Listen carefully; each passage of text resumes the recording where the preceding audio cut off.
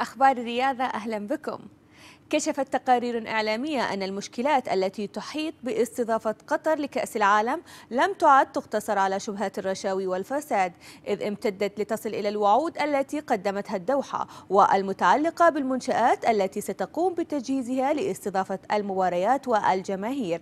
وأشارت التقارير إلى أن قطر وعدت بتوفير 100 ألف غرفة خلال فترة المونديال لكنها تعاني للوصول إلى 45 ألفا مما قد يدفعها لطلب المساعدة من إيران في استضافة الجماهير. وكانت شبهات الفساد قد أحاطت بكيفية فوز قطر بحق استضافة كأس العالم عام 2022 خاصة إنها لا تمتلك تاريخا كرويا لاستضافة المباريات والجماهير.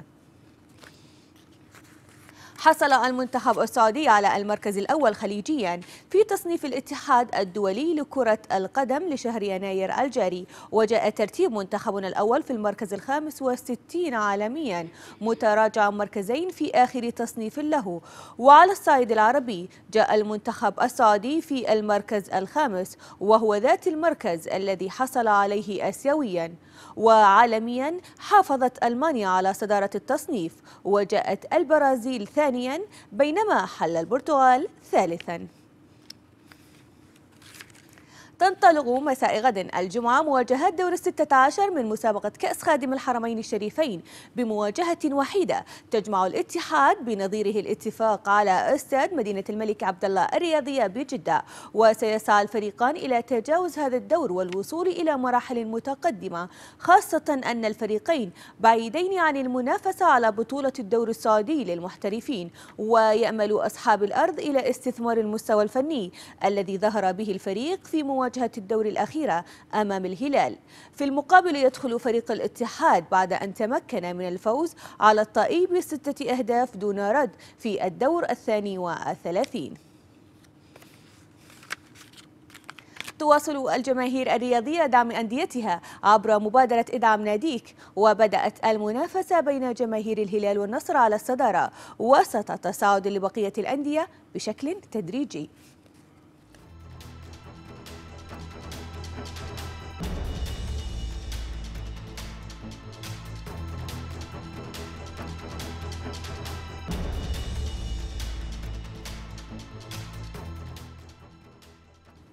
جدد نادي الهلال مفاوضاته مع أشرف بن شرقي مهاجم الوداد المغربي للتعاقد معه خلال الميركاتو الشتوي الجاري. ورفعت إدارة نادي الهلال العرض المقدم للنادي المغربي إلى خمسة ملايين دولار الشيء الذي قد يدفع إدارة الوداد إلى قبول العرض.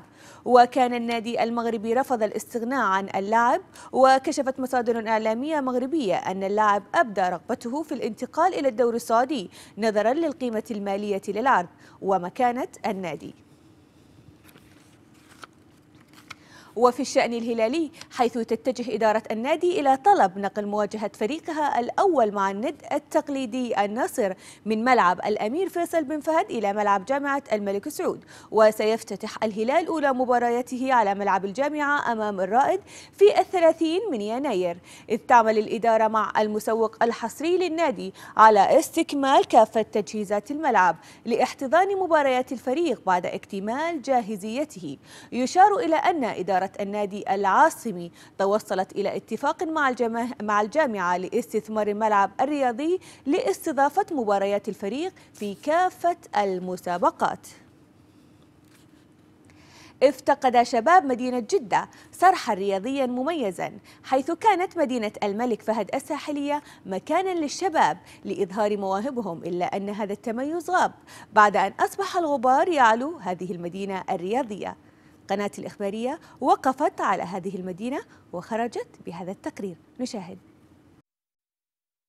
المكان مدينة الملك فهد الساحلية بجدة الزمان الثالث من شعبان من عام 1434 كانت مدينة الملك فهد بمثابة الجامعة يأخذ كل عضو سنة تحضيرية ليتعرف فيها على أنواع الرياضات المختلفة.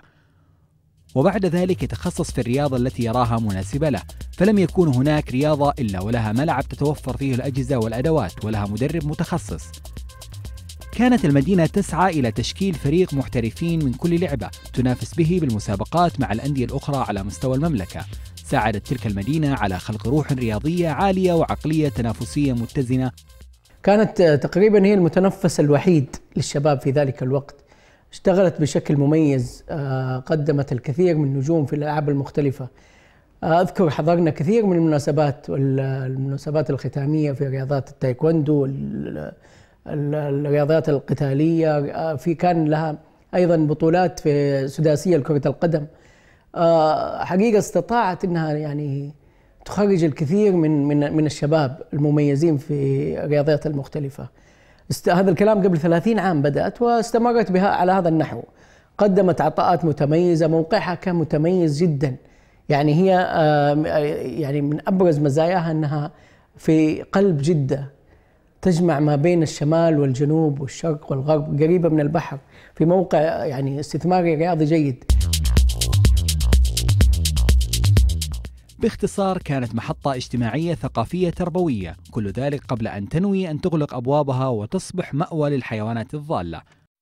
الدخول للمدينة لا يحتاج عضوية كما كان الحال بالسابق فأبنيتها المتهالكة وأسوارها المتهدمة تسمح لك بالدخول متى ما شئت. أعتقد أنه الاستثمار الحالي آه، هو الاستثمار الرياضي يعني خاصة بعد آه، قدوم معالي رئيس هيئة الرياضة تركي آل الشيخ آه، ركز كثيرا على إقامة الأكاديميات الرياضية وكذا.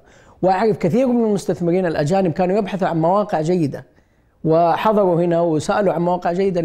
الموقع موقع المدينة موقع ممتاز جدا ومهيأ بني وفي بنية يعني جيدة لإنشاء مدينة رياضية يعني استثمارية جيدة. وهي يعني سواء كانت على المالية أو كانت على ملاك الهيئة هي مناسب أن تظل مدينة رياضية. سيارات تالفة يكسوها الغبار تستقبلنا أمام بوابة المدينة الرئيسية. شاهدة على واقع المدينة الحالي فبعد أن استضافت المدينة مناسبات رياضية بمنشآت عصرية لم يعد لديها اللياقة اليوم لتنفض غبار هجرة الرياضيون. مهند العويمر الإخبارية جدة.